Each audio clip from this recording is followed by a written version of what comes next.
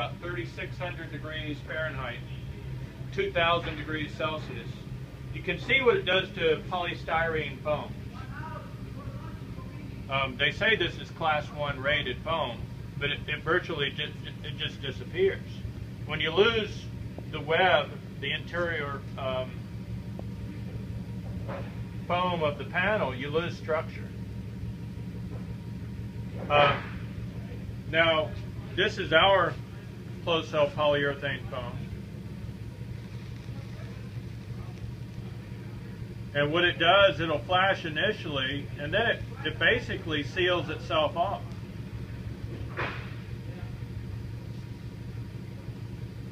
And I can hold this, hold this torch on here all day. Now this is 3,600 degrees Fahrenheit, 2,000 degrees Celsius. And it's just about one inch thick, two and a half centimeters. My hand is on the other side here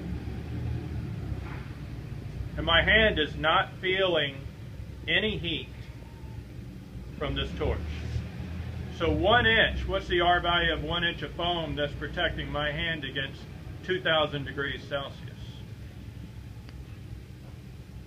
Kind of makes a joke of R values to begin with. Can just hold it here all day long. Go into some new foam that flashes off Mm-hmm. It seals itself off and it maintains structure. Now if I, if I ever pull the torch away, it doesn't burn. It does not conduct flame or does not promote flame is the technical term.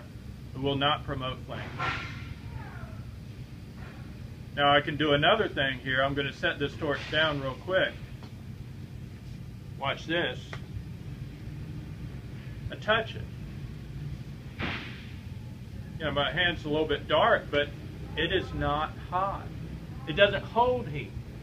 And for the same reason it doesn't hold heat, it doesn't transmit heat. Yeah.